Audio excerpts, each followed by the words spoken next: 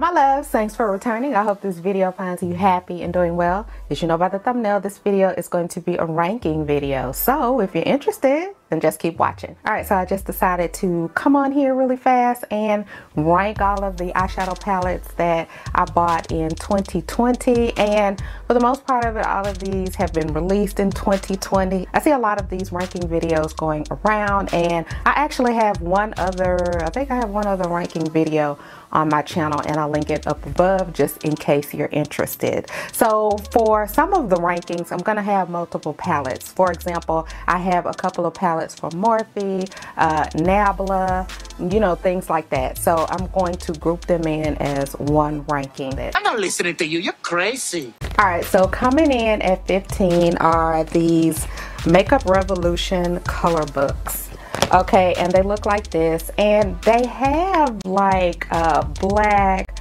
purple a couple of other colors okay? But I chose to get these. Now let me open uh, I'm gonna open this one for you because out of the two this one happens to be my favorite favorite one. So anyway it looks like this and then you open it up. It looks like a book. Now what I like about this setup is that if you um, have issues with blending and it's hard for you to you know uh, pick the colors to blend your eyeshadow really well. This is really good because it has a fading effect. You know starts dark then it goes to light and it has all of these colors. Now in that regard I think that um, the color story is perfect. I love it. Um, the only thing is you know this is the really interesting part because if you don't take the heads off properly then everything gets mixed into the batch someone gets a beak in their bucket or a mouthful of tendons, and you've got a lawsuit on your hands.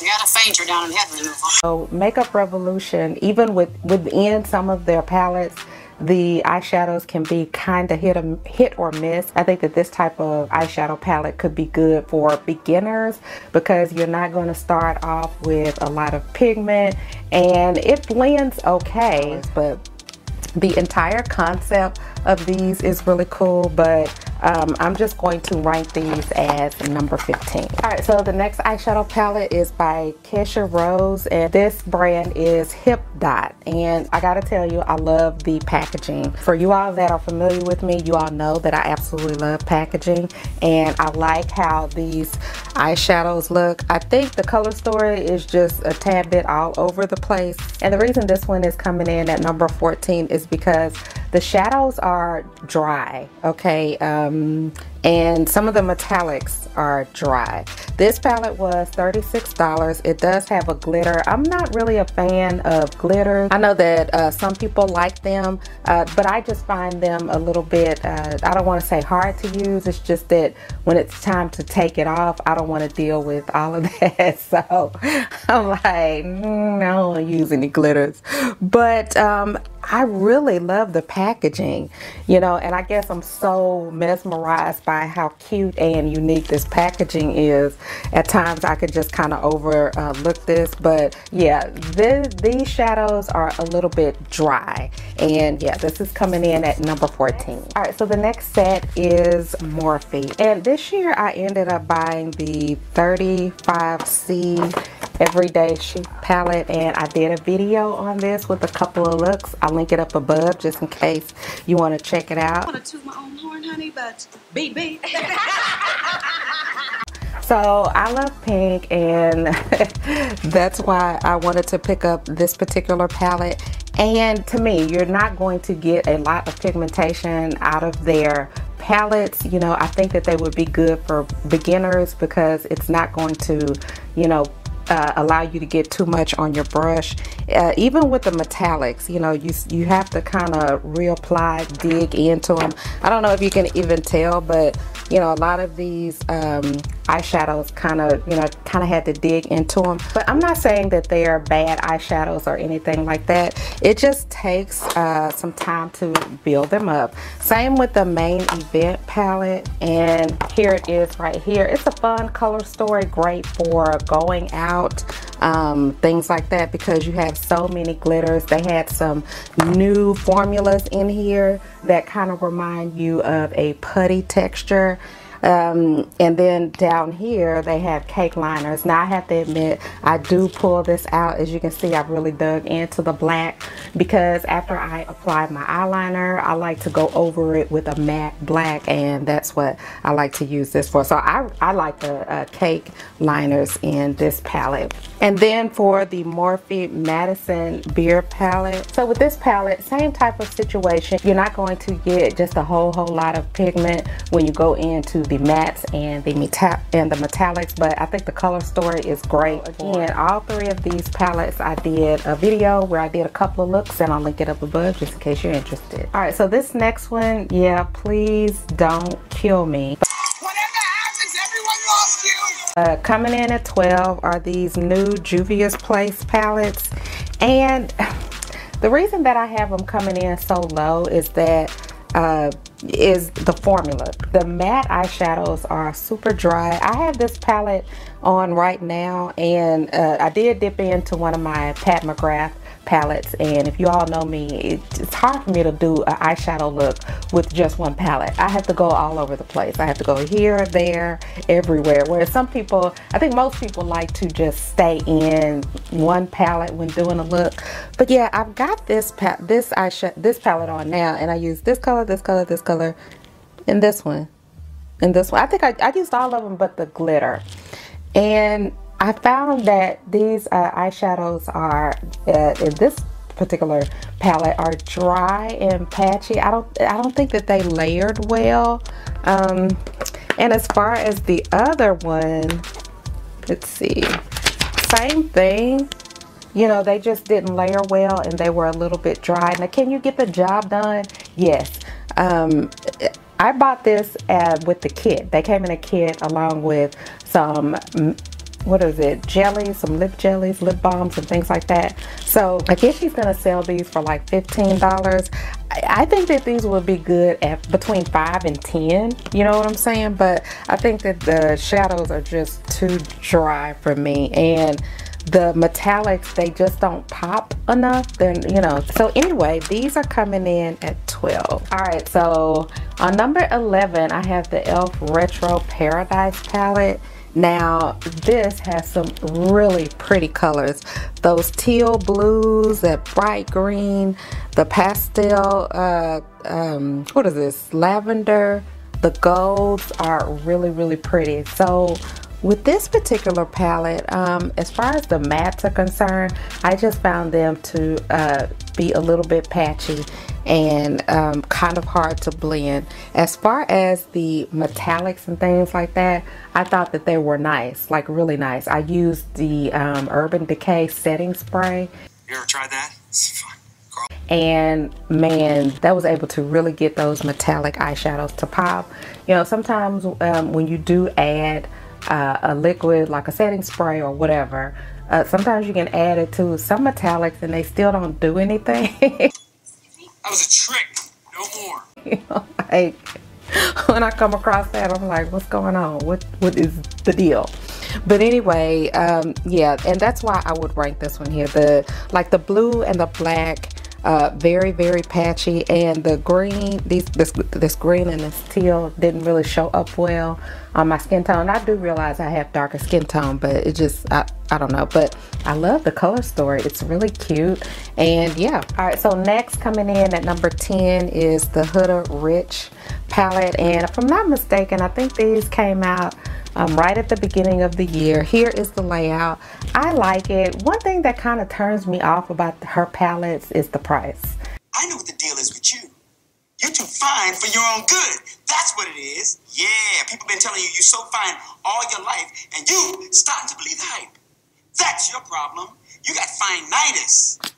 This little thing is $29 and you know that uh, as far as the price is concerned that's relative or should I say subjective on you know the person and how much money they want to spend. But that's the you know that's the thing that really turns me off about her little palettes. Her metallics are very soft very creamy. They pop whenever I use my um, Urban Decay setting spray. And the matte eyeshadows, I feel as though they aren't the most pigmented.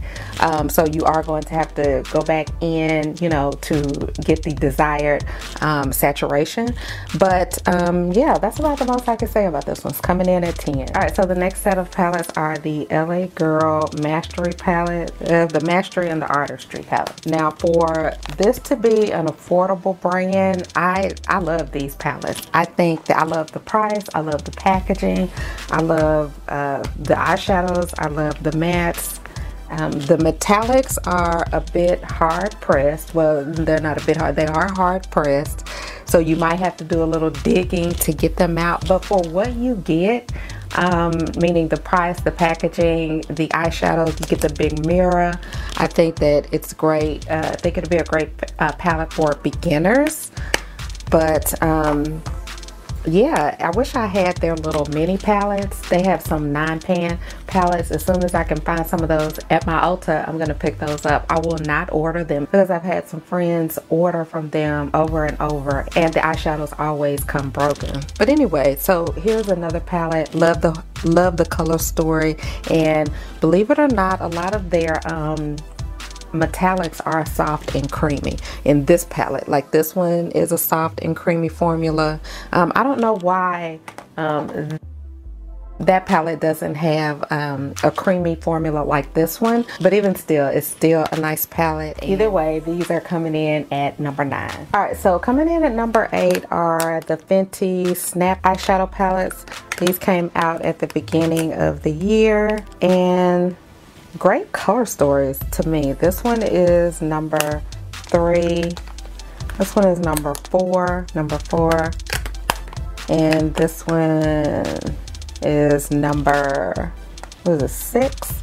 Number six. So as far as the formula, in my opinion, um, it's not the most pigmented formula and I'm talking about the matte eyeshadows. You're going to need some time to build them up. So in that regard, I think that these palettes would be great for beginners. Um, I absolutely love the packaging. I love um, how you can buy a couple and snap them together. I like the fact that it has a mirror in it, which is great for traveling. But overall, I really didn't have a problem with these. I do recommend that if you are going to buy these to, when you use them to set your base, meaning don't use a wet base you know just set it with a powder lightly set it with a powder and then go in with your um your matte eyeshadow your metallic or whatever you're going to wear i feel as these eyeshadows just work better with a set base. But either way, these are still some good ones. And coming in at number seven is the Too Faced Born This Way the natural nudes. Now, I know some of you may be side-eyeing me, and that's okay.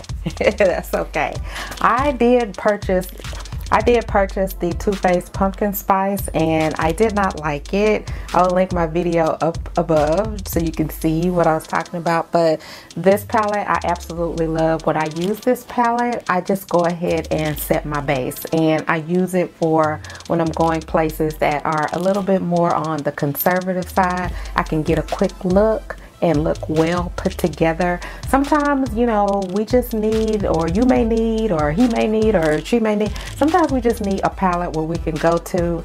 It's just going to be no fuss. And this is one of those palettes and I ranked it at number seven and I actually love it. And I do keep it on standby because it has a gradient type of um, eyeshadow tones as you can see it has dark all the way to light and it matches the uh, the metallic to go with that so you know when I'm in a rush and let's say I want a little bit of a smoky look I can just apply this chocolate matte shade okay um, apply it on my lid and blend it out you know, to where it'll have a blended effect. And then on the inner part of my eye, I can add the metallic shade and pretty much be finished. You know, you don't need, you know, as you all already know, you don't need all these eyeshadows for one look. You don't even need, you just really need one. You can get a really nice eyeshadow look with just one shadow. You don't have to go in with all this other stuff. So um, I would recommend this for that conservative uh, person that's out there that just wants a no fuss look. I just need to get it I just need to get it and go. Get it on and go. this would be a great palette for that. All right, so coming in at number six um, are the little mini Norvina palettes. And this one was released at the beginning of the year, volume three, and then two and one were released uh, a little bit before that but I'm just gonna go ahead and talk about uh, this little palette really all of them all right so here's the palettes all open so you can actually see and the way that I like to use these is with the MAC paint pot and it pretty much sets itself and I think that these shadows really go well with that. Can you use a wet base with these? I think so. It's gonna take you a little bit more time to blend it out so if you want your eyeshadow to be heavily pigmented and saturated, you know, just use a wet base. But every look that I've ever done with these has came has come out very pretty. Um, and I posted a lot of those on Instagram and this yellow is really nice and the orange. Now again, when I use this, I either use a wet base or uh, my paint uh, MAC paint pot and there's some really nice shadows to me. Now, this is another uh, set of eyeshadows that I think are overpriced, so I did wait till these go on sale. Um, just because, I don't know. I'm hoping that this year during Black Friday or something like that, the bigger palettes will go on sale because if they do, I'm going to get those too. Alright, so coming in at number five are my Nabla palettes and I have the Cutie, the little Cutie palettes the wild berry and the platinum. This is such an awesome formula. This is such an awesome formula. If you haven't tried Nabla you really should. Basically this is a cool tone and this is a warm tone palette and their formulas are unique. Um, they have a matte formula right here that is it's creamy to touch but when it comes out when you apply it it looks matte and they have other cream formula like their uh, metallics are very creamy and apply very well their eyeshadows are very blendable, adorable. I love them. I wish that these would go on sale um, so I could get all of them. And I think that this is a decent price because when you go into the Morphe store, you can use Trendmood uh, discount code, which is I think 10%, and these are $24.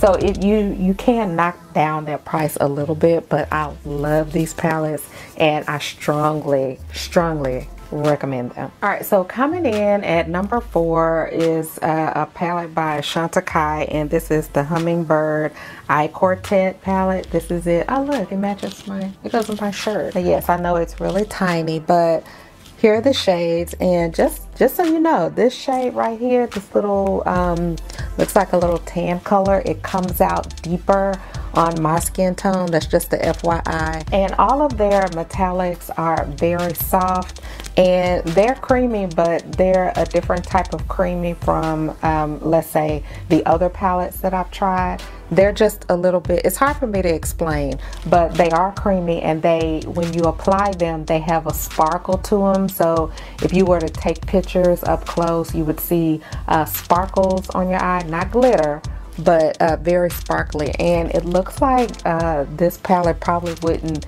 you know give you much of a look. I do have a video using this palette and I'll link it up above and you can check it out check the look out for yourself to see you know what you think. But this is nice. It is on the pricey side but I think it's well worth it. And another reason why I think it's worth it for me is because it brings something unique to my collection you know because it's good for me. I feel I think it's good to have a variety of, you know, makeup ranging from affordable to high-end to luxury but this one's a really nice one. It's coming in at number four. All right so coming in at number three is my bejeweled eyes to hypnotize by charlotte tilbury and this is my first charlotte tilbury palette and i absolutely love it. Let me tell you why um, I think that the mattes are very soft, very blendable. They almost blend themselves. Now when I use this, I do set my base and it works really well like that. I think the metallics are very blendable and this is on a, this palette is on the pricey side, but I would recommend it um, at that price just because of how well they work. And if you're a person who's just looking for a simple palette for every day, you just want one palette, um, like this row right here could get you to work. And you, you can move into these two sections right here, and those could get you for an evening look. And you could pair this and this because they're set up in threes. So you could have this row and this row for work, and then these two middle rows for going out for more of a dramatic look. But you cannot go wrong with this palette. In my opinion, it's uh, beginner friendly because the shadows to me almost blend themselves. So remember, if you do decide to get this, set your base. Always make sure don't use these with a wet base. I wouldn't recommend it. So yeah, coming in at number three. All right, so coming in at number two are my Pat McGrath eyeshadow palettes. And you know, I'm going to say something that's, um, what is it? How, how do they say it? Not popular, po unpopular opinion. But the green, this palette and the rose, what palette is this? The rose something. I'll put it on the screen. The, the green one that everybody likes or that most people like, I, I, I did a look and I didn't think that that looked the best on me. And I was so disappointed. But everything else I love. Okay, I, yeah, you know, I even love the one that shifts from a pink to a green. I just don't think it looks the best for me. And that's one of the reasons why I was so attracted to it. I was like, I have to get this. It's to look so good on me. It's to look so good. Blah, blah, blah. And then I put it on and I'm like, mm. But anyway, Love the pink, love the golds. Pat McGrath, see her shadows can do no wrong. So this one and then this one. This is the rose. What is this? The Okay, so this is the Rose Decadence. Now, what turned me off about this one, but I still like it, is when I got it, these two shades have popped out of it and we're sitting on these two shades and that's why I have this bad looking glue right here. It just looks horrible, but I love these shadows. I love pink. Um, I love Pat McGrath's eyeshadows. So yeah, it, it's like, to me, her eyeshadows can do no wrong. And that's subjective. Not everybody's going to feel that way. When I use her shadows, I can use uh, them with my base wet, you know, when I'm applying the mattes or I can set it. It's just not going to give me any problems. You know, she has her magnificent uh, specialty shades which look good and play well with with no matter what shadow you pick. So yeah. All right and then coming at number one can you guess can you guess number one? Natasha Denona the bronze palette and yes ma'am the glam palette. I have a look during the the glam palette. I'll link it up above just in case you're interested. But these two palettes I know you all know what they look like these two palettes are great for every day. And yes, a brown skin person can use these. I did, I think five looks. I'll link it up above just so you can see. These palettes are great for every day. Um, even if you want to go out, you can still rock these palettes because it's got some deep tones in each palette where you can smoke up the outer V and look as sexy as you want to be by the eyes. And it's just good. To me, Natasha Denona's palettes are her eyeshadows are in these palettes. All of them you're never going to have a problem with blendability layering you're never going to have a problem with patchiness and as far as the metallics they're always going to be creamy and soft and yeah it, it's just these uh these $65 palettes you know hands down um I, I would recommend. So yeah, that's pretty much it. That's my ranking of all of the palettes that I purchased in 2020. Let me know, did you pick up any of the palettes that I bought and do you disagree with the ranking or do you agree? Let me know down in the comments. I'd love to hear about it. Thank you so much for tuning in and until my next video, smooches.